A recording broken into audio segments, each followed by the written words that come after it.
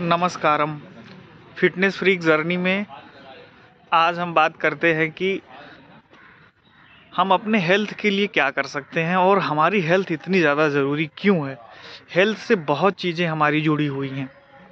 देखिए जीवन में इंसान के तीन चीज़ें बहुत ज़रूरी है। एक तो हेल्थ एक तो रिस, दूसरे रिश्ते और पैसा जिसके लिए हम लोग मेहनत करते हैं। अच्छी बात है पैसा बहुत ज़रूरी है। आजकल पैसे से ही सारी चीज़ें उपलब्ध हैं और हमारे जीवन को आसान बनाता है पैसा। लेकिन स्वास्थ्य भी बहुत ज़रूरी है। अगर आप स्वस्थ रहोगे, तभी आप अपने काम को बहुत अच्छे तरीके से कर पाओगे, अपने रिश्तों को अच्छे तरीके से निभा पाओगे। क्योंकि हर चीज़ पैसे पे डिपेंड हो गई है।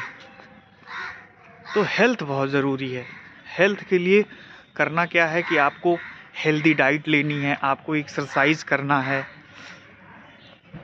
और एक्सरसाइज भी सही तरीके से करना है। ये नहीं कि हम गलत सलत एक्सरसाइज कर लिए, उससे होता क्या है कि हमारी हेल्थ गड़बड़ हो जाती है। हम तो चले थे अच्छा करने और हो गया गड़बड़। तो हेल्थ बहुत ज़रूरी है।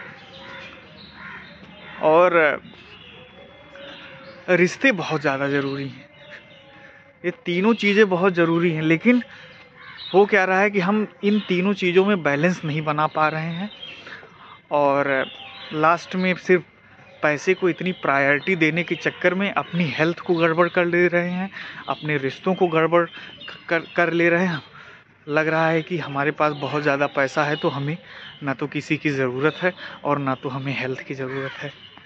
लेकिन एक टाइम के बाद जब स्वास्थ्य गड़बड़ हो जा रहा है तो उस समय सबसे ज़्यादा याद आती है रिश्तों की। क्योंकि वो जो भावनाएँ जुड़ी होती हैं, वो एक रिश्तों से ही आपको एक इमोशनल अटैचमेंट जो होता है, वो आपके रिश्ते ही दे पाते हैं।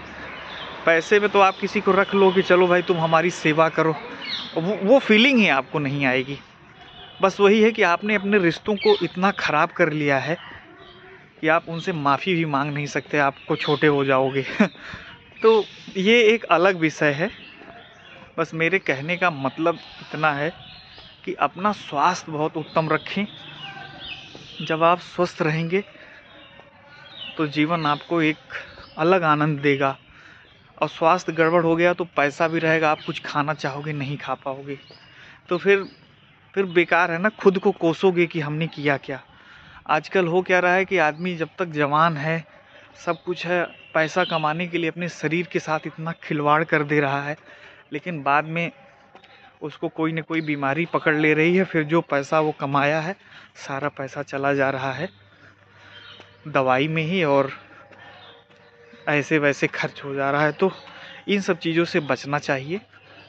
देखिए, एक होता है कि हम अपनी गलत दिनचर्या से बीमार होते हैं। हमारे ऐसे खान पान होते हैं, उससे बीमार होते हैं। और एक बीमारी आती है कि आपके बुरे कर्मों से।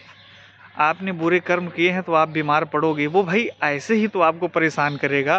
भाई कर्म का फल कैसे मिलेगा? किसी न किसी तरीके से मिलेगा। लेकिन कोशिश ये करो कि आप खुद से बीमार ना हो। आप गलत चीज़ें मत खाओ जिससे आपकी हेल्थ पे फ़र्क पड़े। बाकी सुख दुख तो ये लगा ही रहता है।